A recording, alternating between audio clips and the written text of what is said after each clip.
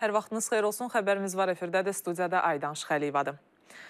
Yaşı 10 ildən çox olan minik avtomobillərinin ölkəyə gətirilməsi məhdudlaşdırılır. Bununla bağlı qərar 30 gün sonra qüvvəyə minəcək. Bəs artıq sifariş olunan və ölkəyə gətirilməsi bir aydan çox çəkən avtomobillərin aqibəti necə olacaq?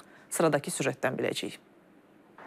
Zavod buraxılış tarixinə görə yaşı 10 ildən çox olan minik avtomobillərinin raritet minik avtomobilləri və gömrük ərazisinə müvəqqəti gətirilən minik avtomobilləri istisna olmaqla ölkə ərazisinə gətirilməsi məhdudlaşdırılacaq.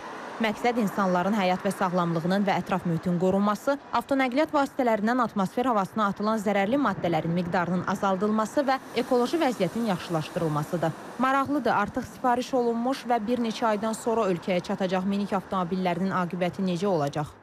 Narahatçılığa əsas yoxdur. Yəni yolda qalan hansı ki, daha əvvəlcədən sifariş verilmiş nəqliyyat vasitələri, hansı ki, ödənişlər edilibdir, ancaq e, gəlinməsi gözlənilir. E, vaxt etibarilə uzun müddət çəkəcək. E, nəzərə alsaq ki, bunun ödənişləri daha əvvəlcədən edilibdir, qərar təsdiq olunduğu tarixdən əvvəlki dönəmə düşür alınma tarixi, həmin nəqliyyat vasitələrinin rəsmiləşdirilməsi mümkün olacaqdır. Dövlət Statistika Komitəsinin məlumatlarına əsasən ölkədə 1,4 milyondan çox minik avtomobili mövcuddur. Bunun 1,3 milyondan çoxu şəxsi minik avtomobillərinin payına düşür. Azərbaycanda minik avtomobillərinin yaş strukturu belədir. 2 ilə qədər olan minik avtomobilləri 2%, 2 ildən 5 ilə qədər olan minik avtomobilləri 3%, 5 ildən 10 ilə qədər olan minik avtomobilləri 11,9%, yaşı 10 ildən artıq olan minik avtomobillərinin payı 80%-dən çoxdur. Yeni qərar həm də ekoloji təmiz olan hibrid və elektrik avtomobillərinin ölkəyə gətirilməsini stimullaşdıracaq, yararsız avtomobillərin dövriyyədən çıxarılması ilə avtomobil parkı yenilənəcək, yol nəqliyyat hadisələrinə səbəb olan hallar azalacaq. Ekspertlər isə hesab edir ki, ölkəmizdə köhnə avtomobillərdən istifadə səviyyəsi yüksəkdir və yeni qərar bunun qarşısını almayacaq. Hətta müəyyən neqativ məqamlara gətirib çıxara bilər. Bu qərarla artıq avtomobilləri yeniləmək biraz da çətinləşdisə, əllərində köhnə avtomobillər olan adamlar öz köhnə avtomobillərindən biraz da bərk yapışacaqlar ki, bu əldən getdisə mən qalacam piyada yollarda. Bizim vətəndaşlarımızın avtomobili idxalına xərcləyəcəyi pullar artacaq. Çünki avtomobillərə ehtiyac var. Dediyim kimi ictimai nəqliyyat qane eləmir. Belə olan təqdirdə adam artıq məcbur olacaq ki, nisbətən yeni avtomobil alsın, yeni avtomobil də bahadır deyə çox pul ödəyəcək. Bunun iqtisadi tərəfləri də var.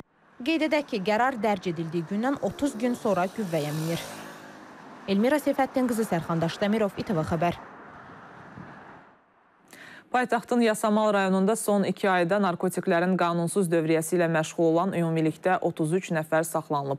Polis tərəfindən həyata keçirilən əməliyyat nəticəsində narkotik vasitələrin qanunsuz dövriyyəsi ilə məşğul olan 33 nəfər tutulub. Qanunsuz dövriyyədən 18 kiloqrama yaxın heroin, eləcə də digər növdən olan narkotik vasitələr və metamfetamin çıxarılıb. Saxlanılanlardan bir neçəsi narkotikləri sosial şəbəkələr vasitəsilə İranda yaşayan narkotik satıcılarından əldə etdiklərini bildiriblər.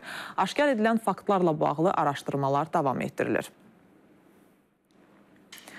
Növbəti süjetdə isə sizə elə bir məktəbdən söz açacağıq ki, burada normal dərsin aparılması üçün heç bir şərait yoxdur.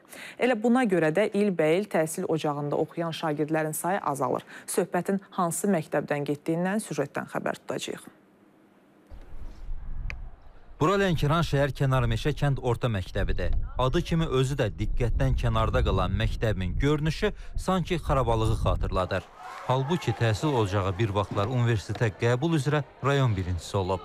Amma təəssüf ki, ildən ilə daha da pis vəziyyətə düşdüyündən şagirdlərin sayı da get-getə azalmağa başlayıb. Hazırda burada 370 nəfərə yaxın şagird təhsil alır. Nəvəm burada oxuyurdu uzun müddət oxudu. Oxuyan dövrdə gördüm ki, çox soyuqdur məktəb, çox pis vəziyyətdədir, qəzalı vəziyyətdədir, şüşələri yoxdur, pulunkalar salınıb şüşə yerində.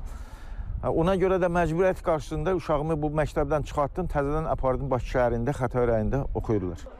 Keyfiyyətli təhsil üçün təmirli məktəb, işıqlı və isti sinif otaqları şərtdir. Elə Kənarmeşə kənd orta məktəbinin də haçansa istilik sistemi olub. İndi onlar da tarixə qovuşub. Hazırda sinif otaqları odun sobalarının ümidinə qalıb. İstisinə qızına bilməyən şagirdlər isə tüstüsünə dözmək məcburiyyətindədirlər. Biz bu 4 ildir ki, bu məktəbdə oxuyuruq. Bu məktəb çox təmirsizdir. Pəncərələr dağınıqdır. Bizim İdman zalımız yoxdur. Biz idman zalında oynamaq istəyirik. Odun sobalarından istifadə edirik. Məktəb çox vaxtı tüstülənir. Uşaqlar məktəbdə gəlirlər, soğuqdan ölürlər. Dərs oxumaya bunların heç bir imkanı yoxdur, şərait yoxdur. Pollar hamısı çürüyüb. Uşaqlar alın qoyurlar, polun altı çürüydü, düşür ayaqları ora. Sürmüş döşəmənin üzərində olan köhnə döşəkçilərdən aydın olur ki, bura məktəbin idman zalıdır. Məktəbin fiziki tərbiyə müəllimi də etiraf edir ki, normal idman dərslərinin keçirilməsi üçün barmaqla göstəriləsi bir avadanlıq belə yoxdur. Elə mövzularımız var ki, məsəl üçün basketbol mövzusu hal-hazırda yəni başlamaq üzrədir. Yəni basketbol oynayacaq bir yerimiz yoxdur. Normal futbol oynayacaq bir yerimiz yoxdur. Sonra digər mövzularda tədris eləmək üçün heç bir avadanlığımız yoxdur. Dərdləri saymaqla bitməyən məktəbdə inşa olunduğu vaxtdan bu günə kimi bir dəfə də olsun təmir işləri aparılmayıb. Çoxsaylı müraciətlərdən sonra binanın yalnız tavanı yenilənib. Xarabalığı xatırladan bu otaq bir vaxtlar məktəbin akt zalı olub. Hazırda otaq bərbad vəziyyətdə olduğu üçün məktəbin toplantıları ya sinif otaqlarında, ya da ki açıq səma altında təşkil olunur.